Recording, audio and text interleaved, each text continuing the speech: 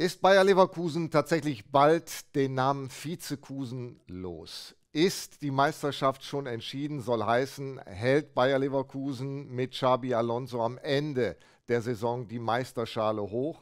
Das ist die Frage auch am 23. Spieltag und die müssen wir natürlich auch an unserem Vize Marcello stellen. Hallo Carsten, schöne ja. Einleitung von dir mal wieder. Ähm, ich sag mal so, seit Einführung der Drei-Punkte-Regel in der Bundesliga hat es noch nie eine Mannschaft geschafft, einen 8-Punkte-Rückstand auf den Spitzenreiter an den letzten 12 bzw. 13 Spieltagen aufzuholen. Deswegen, Leverkusen ist für mich schon jetzt Meister. Okay, was sagt ihr dazu? Äh, habt ihr andere Meinungen, Kommentare und gerne auch ein Abo hier liegen lassen? Es bleibt weiter spannend und äh, da wir Marcel schon hier haben, können wir ihn auch loben. Er hat einen Hattrick geschafft. Ja, danke Carsten. Ich habe es ja letzte Woche schon äh, großmundig angekündigt und tatsächlich ist es auch so gekommen. Ich habe den Hattrick in der Bundesliga geschafft, das heißt zum dritten Mal in Folge in der Bundesliga eine positive Bilanz rausgehauen. Äh, dieses Mal lag es bei 1,09. Ja, dementsprechend ähm, hatte ich fünf von zehn Tipps, aber nur richtig. Ja, was heißt nur? Eigentlich ist es eine gute Bilanz. Aber wenn man denkt, dass mein höchster Einsatz, nämlich die vier Units auf den Auswärtssieg von Dortmund gegen Wolfsburg, falsch waren und ich trotzdem im Plus bin bei einer äh, bei der Hälfte der Tipps, die richtig waren, kann man sehen, dass die anderen Quoten sehr, sehr erfolgreich waren und auch sehr hoch waren und trotzdem getroffen wurden. Und deswegen äh, versuche ich mich jetzt an dem Quadrupel, Carsten. Quadrupel. der ist nicht mehr zu retten. Also, äh, Joshua Kimmich äh, ist übrigens not amused, dass äh, Thomas Tuchel nach wie vor Trainer der Bayern ist. Ähm, ja, es gibt offensichtlich da zwei Lager bei den Bayern. Die einen sagen, nee, mit ihm können wir weitermachen. Die anderen sagen, nein. Was sagt ihr? Auch gerne mal hier eure Kommentare. Ähm, wir besprechen natürlich das Samstagabendspiel, nämlich Bayern gegen RB Leipzig. Und zur Erinnerung, in der letzten Saison, am vorletzten Spieltag, gab es da eine 1 zu 3 Niederlage. Alle hatten gedacht, okay, jetzt ist Dortmund Meister. Es kam anders. Was sagen wir zu dem Spiel, Marcel? Ja, Carsten, ähm, völlig unnötig von dir, dass du jetzt nochmal in der Wunde rumdrückst. Ähm, er meint den äh, BVB, ja. er meint äh, die verlorene Meisterschaft. Das ist sein Thema gerade.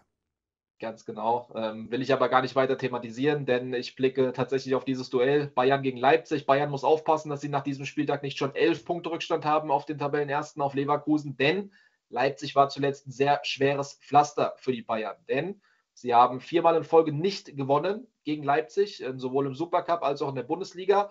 Und ähm, sie haben auch die letzten beiden Heimspiele gegen RB Leipzig sogar verloren und das jeweils mit mindestens drei Toren, die sie kassiert haben. Also Leipzig ist wirklich momentan so ein bisschen Angstgegner für die Bayern. Ähm, zudem haben die Bayern natürlich jetzt dreimal in Folge verloren in Pflichtspielen. Das gab es erstmals seit 2015 wieder, damals noch übrigens unter Pep Guardiola. Und erstmals seit 1991 könnten sie jetzt sogar vier Pflichtspiele in Folge verlieren. Und das wäre natürlich äh, ja nochmal das i-Tüpfelchen, weil ich bin momentan wirklich so happy, äh, dass Thomas Tuchel weiter Trainer bei Bayern ist, weil es macht Spaß, die Bayern verlieren zu sehen. Da lehne ich mich einfach mal aus dem Fenster. Ähm, jetzt gegen Leipzig gehe ich allerdings davon aus, dass wir ein sehr torreiches Match erleben werden. Ja, die Bayern tun sich da momentan ein bisschen schwer. Du hast äh, Kimmich einerseits angesprochen. Ich spreche nochmal Sané und Kane an, die momentan beide so ein bisschen ja, unter den eigenen Möglichkeiten spielen. Kane lässt Chancen liegen. Sané wirkt sehr sloppy, also sehr schlampig in seinen Aktionen, äh, einfache Fehlpässe, keine Durchschlagskraft im letzten Drittel. Also alles das, was ihn ausgezeichnet hat im ersten, in der ersten Saisonhälfte, das ist momentan abhanden gekommen bei Leroy Sané. Und trotzdem gehe ich davon aus, egal ob für die Bayern oder gegen die Bayern, dass wir in der ersten Halbzeit schon mindestens zwei Tore erleben werden. Deswegen mein erster Tipp zu dieser Partie. Über 1,5 erste Halbzeit, 2,12 die Quote und 2 Units mein Einsatz. Ja, was ja wirklich bemerkenswert ist, die Defensivschwäche äh, der Bayern, das äh, kennt man ja so aus den letzten Jahren gar nicht. Und ähm, deshalb gibt es vielleicht noch einen zweiten Tipp, einen zweiten Ansatz bei dir. Ja, und da bin ich da tatsächlich eher bei RB Leipzig, wenngleich ich sagen muss, dass ich mich äh, da sehr defensiv verhalte. Das heißt, ich gehe da gar nicht groß ins Risiko. Ich sage nämlich, dass RB Leipzig, die übrigens auch nur eines der letzten sechs Auswärtsspiele in der Bundesliga gewinnen konnten, äh, diese Partie mit maximal zwei Toren Unterschied verlieren. Also du siehst, Carsten, sehr defensiv, sehr weniger äh, oder sehr wenig risikoreich äh, gehe ich daran, ähm, sage RB Leipzig plus drei in Verbindung damit, dass in beiden Halbzeiten wenigstens ein Tor fallen wird. Und für diese Kombination erhalten wir dann nochmal eine 1,82 als Quote. Da gehe ich mit drei Units drauf und möchte abschließend nochmal einen Spieler huldigen von RB Leipzig, nämlich Luis Openda. Wie in den letzten Wochen auch. Jetzt steht er mittlerweile bei fünf Bundesligaspielen in Folge, in denen er mindestens einmal getroffen hat. Und natürlich ist Openda gerade gegen die ja, Verteidigung der Bayern, die ja ohne Upamecano auch auskommen müssen, in der Lage, erneut ein Tor zu erzielen. Wir kommen zum Spiel am Sonntagabend, nämlich Dortmund als Gastgeber für Hoffenheim. Carsten, vorab möchte ich gerne mal deine Meinung zum äh, Nachziehbein hören. ja, ich habe auch ein Nachziehbein nach äh, fünf Operationen am Knie. Ja, ich laufe da ein bisschen schleppend. Ja, genau. Aber jetzt muss ich aufpassen, dass ich nicht zu emotional werde. Aber wenn ich dann äh, am Dienstagabend ganz genüsslich vor dem Fernseher sitze und mir meine Dortmunder anschaue, die ja wirklich kein gutes Auswärtsspiel hingelegt haben in Eindhoven, aber durchaus das Spiel hätten auch gewinnen können, dann muss ich mich mal wieder fragen, was hat denn der VAR da denn schon wieder gesehen? Ich spreche natürlich den Elfmeter an äh, von Mats Hummels. Für mich 0% ein Foul, also ähnlich wie das Mats Hummels sieht. Und wenn ich dann noch Wolfgang Stark als ehemaligen Bundesliga-Schiedsrichter bei Amazon Prime höre, der sagt, dass das Nachziehbein ja den Spieler gefault haben soll, ja, da muss ich dann einfach echt im Kopf schütteln, weil für mich war das, wie gesagt, gar kein Elfmeter. Aber wie dem auch sei, Dortmund hat eine gute Ausgangslage in der Champions League und Dortmund ist natürlich jetzt auch unter Druck in der Bundesliga, denn sie wollen die Top 4 natürlich äh, halten. Sie wollen den momentan vierten Platz auf jeden Fall mindestens mal verteidigen. Und jetzt geht es gegen Hoffenheim. Die waren auswärts am Anfang der Saison extrem stark, sind, glaube ich, mit fünf Auswärtssiegen in Folge gestartet. Seitdem gab es allerdings keinen einzigen Auswärtssieg mehr. Zwei Unentschieden, vier Niederlagen. Allgemein, Matarazzo, der Trainer von Hoffenheim, steht extrem in der Kritik. Und jetzt geht es auch noch gegen seinen persönlichen Angstgegner, gegen Edin Terzic. Der hat nämlich viermal schon gegen Matarazzo in vier Bundesliga-Duellen gewinnen können. Und dementsprechend sage ich auch diesmal, dass Dortmund hier die Oberhand behalten wird. Und ich gehe auf den Sieg des BVB in Verbindung mit unter 5,5 Toren 1,83 die Quote. Und an der Stelle sei noch erwähnt, dass äh, der BVB keines der letzten acht Pflichtspiele gegen Hoffenheim verloren hat und zuletzt sogar sechsmal in Folge gewinnen konnte. Der VfB Stuttgart spielt eine herausragende Saison und äh, jetzt kommt als Gegner Köln. Ich darf übrigens dahin fahren zum Spiel und möchte mir natürlich wieder ein Spektakel anschauen. Wie sind die Aussichten dafür? Gut, Gut, Carsten. Also ich glaube, dass äh, wir tatsächlich wieder ein relativ torreiches Match erleben werden, allerdings hauptsächlich mit Toren äh, auf Stuttgarter Seite, weil Köln auswärts natürlich weiterhin ja sehr harmlos ist, haben erst sechs Tore geschossen in elf Auswärtsspielen, auch erst einen einzigen Auswärtssieg landen können. Trotzdem ist natürlich so eine kleine äh, Aufwärtstendenz erkennbar bei den Kölnern, das möchte ich gar nicht abstreiten, aber in Stuttgart wird es einfach brutal schwer, weil Stuttgart hat neun der bisherigen elf Heimspiele gewonnen, haben schon 34 Tore zu Hause erzielt, nur die Bayern haben zu Hause noch mehr Tore markiert und ähm, trotzdem möchte ich hier noch eine Personalie ganz kurz erwähnen, die so ein bisschen zwischen beiden Vereinen momentan steht, nämlich Justin Deal, junger Kölner Stürmer, in der Hinrunde noch hauptsächlich in der Regionalliga aktiv. Unter Baumgart hat er keine Rolle gespielt. Dementsprechend wollte er den Verein wechseln. Stuttgart war in der Pole Position. Ja, der Wechsel war schon fast durch. Und auf einmal kommt so ein kleines Umdenken. Er sieht, dass Timo Schulz deutlich mehr auf ihn baut. Und auf einmal sagt Justin Deal, naja, vielleicht bleibe ich doch in Köln. Und dementsprechend ist das so eine Personalie, die interessant ist bei dieser Partie. Aber nochmal unter dem Strich sage ich, Stuttgart wird diese Partie gewinnen. Stuttgart wird auch schon zur Halbzeit führen, wie so oft in Heimspielen und deswegen 1,90 doppeltes Ergebnis, Halbzeit 1, Endstand 1, 3 Units, mein Einsatz. Bo Henriksen, der neue Coach von Mainz 05, könnte ja auch als Tänzer irgendwo auftreten. Ähm, der war ja permanent in Bewegung bei seinem ersten Spiel, aber eben auch erfolgreich. Ein Sieg mit Mainz 05. Jetzt reisen sie nach Leverkusen. Hertha geht die Prüfung natürlich nicht, aber ich möchte ein kleines Glöcklein, ein Überraschungsglöcklein läuten. Ich glaube, ein Punkt könnte drin sein. Nein, Carsten, nein. Ich äh, läute das Überraschungsglöcklein nicht, ja, weil ich äh, felsenfest davon überzeugt bin, dass Leverkusen dieses Heimspiel gewinnen wird. Äh, will das Ganze auch ganz kurz statistisch untermauern. Leverkusen äh, hat Anfang Dezember in der Bundesliga zu Hause letztmals ein Gegentor kassiert. Ja, Mainz ist nach wie vor die einzige Mannschaft in der Bundesliga, die noch nie zwei Tore erzielen konnte in einer Partie. Ähm, hinzu kommt, dass Mainz mittlerweile seit 15 Auswärtsspielen in der Bundesliga auf einen Sieg wartet. Und äh, dann haben wir natürlich noch ein besonderes Jubiläum in dieser Partie, nämlich Florian Wirz. Und da mache ich jetzt einmal kurz das Quiz-Glöcklein, Carsten, denn äh, er ist jetzt ja schon der, oder er könnte der vierte Spieler werden, der im Alter von 20 Jahren oder jünger sein 100. Bundesligaspiel feiert. Welche drei Spieler waren noch jünger als Florian Wirtz beim 100. Bundesligaspiel? Die Frage geht nicht an dich, Carsten, die Frage geht an euch da draußen. Äh, Haut es mir gerne mal in die Kommentare rein. Ähm, ich sage, Leverkusen wird mit Florian Wirtz in der Startelf, mit einem überragenden Florian Wirtz in der Startelf, auch gegen Mainz die Oberhand behalten. Und mein Tipp lautet: doppeltes Ergebnis, Halbzeit 1, Endstand 1, also Leverkusen führt zur Halbzeit, Leverkusen gewinnt das Spiel und Leverkusen trifft sogar in beiden Halbzeiten mindestens einmal. 2,10 hier die Quote für und 2 Units mein Einsatz. Übrigens an der Stelle möchte ich jetzt auch nochmal huldigen. Der Pass, der äh, von ihm kam gegen Heidenheim, den können wirklich nur Spieler spielen, die so intelligent sind, so spielintelligent wie Florian Wirz. So, äh, Spielintelligenz wäre äh, für Union Berlin und Heidenheim natürlich auch wünschenswert. Zwei Vereine, die ja äh, die Basics beherrschen, sagen wir es mal so die Grundtugenden, ja, das auf jeden Fall. Also zwei Mannschaften, die zu den läuferisch stärksten in der Bundesliga hören, gehören, die äh, keinem Zweikampf aus dem Weg gehen. Deswegen gehe ich auch in erster Linie mal davon aus, dass wir eher wenige Tore erleben werden. Wenn gleich man sagen muss, Heidenheim ist mittlerweile seit vier Bundesligaspielen auswärts ungeschlagen, haben wir letzte Woche nach zuvor acht ungeschlagenen Bundesligaspielen überhaupt mal wieder verloren gegen Leverkusen, 1 zu 2, haben da trotzdem gezeigt, dass sie momentan wirklich jedem Gegner auch gefährlich werden können. Und ähm, ja, für Union spricht sicherlich die Tatsache, dass sie zuletzt viermal in Folge zu Hause gewinnen konnten und auch nur zwei von 19 Spielen gegen Aufsteiger verloren haben. Aber trotzdem läute ich hier das Überraschungsglöcklein, Carsten. Ich sage nämlich, Heidenheim holt drei Punkte an der alten Försterei. Ich sichere mich aber auf dem Zweiwegmarkt ab.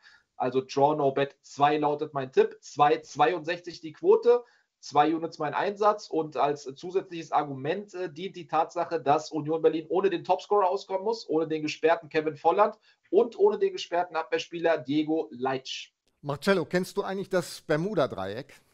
Das äh, kenne ich, da war ich aber tatsächlich noch nicht. Wo ist das denn? Ähm, weit äh, über den Wolken äh, fliegt man da lang. Nein, man muss nur nach Bochum äh, fahren, reisen und dann ist dort das Bermuda-Dreieck. Das ist die Kneipenmeile in Bochum und da ging es natürlich extrem ab nach dem Sieg gegen die Bayern, dem 3 zu 2. Äh, ja, da flog die Kuh und jetzt äh, muss der VfL Bochum in den Alltag zurück nach Gladbach. Und Gladbach ähm, sollte sich mal nach unten orientieren, denn das ist nicht mehr so weit bis zum Abstiegsrang du sagst es, gerade mal sechs Punkte sind es noch, die die Gladbacher Vorsprung haben, müssen sich ähm, ja, deutlich strecken, aktuell um Punkte zu sammeln. Haben nur eines der letzten neun Bundesligaspiele gewonnen, dreimal unentschieden gespielt, fünfmal verloren und in der Rückrunde, also in den letzten fünf Partien, ist Gladbach sogar komplett sieglos. Und jetzt geht es eben gegen eine euphorisierte, selbstbewusste Bochumer Mannschaft, die äh, nur eine Niederlage bisher kassiert hat im Kalenderjahr 2024, ähm, die allerdings auch mittlerweile seit fünf Auswärtsspielen sieglos ist und allgemein auch nur eines der letzten 15 Bundesligaspiele in der Fremde gewinnen konnte. Trotzdem muss ich sagen, sehe ich Bochum auf jeden Fall in der Lage, hier etwas Zählbares mitzunehmen. Wenngleich man sagen muss, dass Anthony Lucia, der ja, defensive Stabilisator vor der Abwehr, ausfallen wird, gesperrt. Ähm, und er hat bislang fünfmal gefehlt, seitdem Bochum wieder in die Bundesliga aufgestiegen ist. Und fünfmal konnte Bochum nicht gewinnen. Aber gleiches gilt auch für Gladbach, denn die müssen auf Itakura und auf Elvedi verzichten, also auf zwei etatmäßige Innenverteidiger. Und deswegen erwarte ich ohne die defensiven Stabilisatoren beider Mannschaften eine sehr torreiche Partie und gehe davon aus, dass in beiden Halbzeiten mindestens ein Tor fallen wird. 1,57 die Quote und vier Units der Einsatz. Der SV Werder Bremen hat die letzten drei Auswärtsspiele zu Null gewonnen. Das ist äh, historisch wirksam bei den Bremern und damit äh, klopfen sie natürlich jetzt auch mal wieder an Richtung äh, oben, ja, internationale Ränge. Und das Heimspiel gegen Darmstadt ist jetzt keine so große Herausforderung.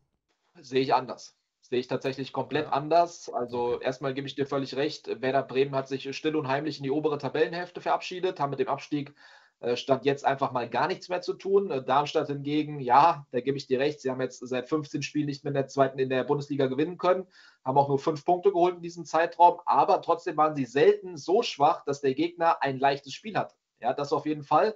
Darmstadt hat in sechs der bisherigen zehn Auswärtsspielen mindestens ein Tor erzielt. Bremen hat zudem ähm, auch selten zuletzt zu Null gespielt, wenn man zu Hause gespielt hat. Sie haben nur eines der letzten sechs Heimspiele ohne Gegentor beendet. Also auswärts waren sie defensiv sogar ein Stück weit stabiler als zu Hause. Und ähm, trotzdem steht unter dem Strich natürlich der zweite Platz in der Rückrundentabelle zu Buche. Zwölf von möglichen 15 Punkten geholt für die Bremer. Ähm, und sie haben mit Jinma auch jemand, der wirklich so momentan ein bisschen durch die Decke geht. Top-Joker der Liga, also hinter Matis Tell hat er die meisten Torbeteiligungen nach Einwechslungen und insgesamt steht er jetzt schon bei sechs Saisontoren. Und mit seiner Geschwindigkeit, glaube ich, kann er auch ein ganz wichtiger Part werden gegen Darmstadt.